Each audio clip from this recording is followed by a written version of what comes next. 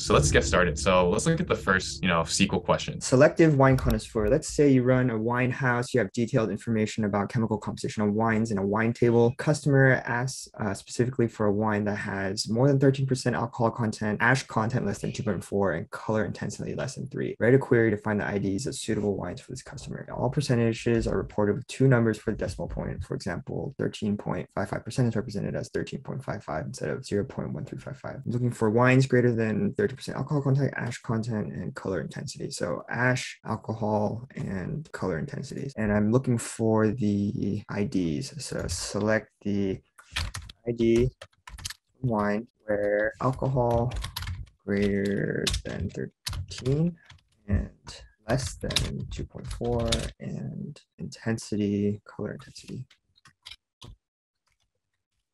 Three. So let's try this out. Nice. Okay, uh, that should be correct.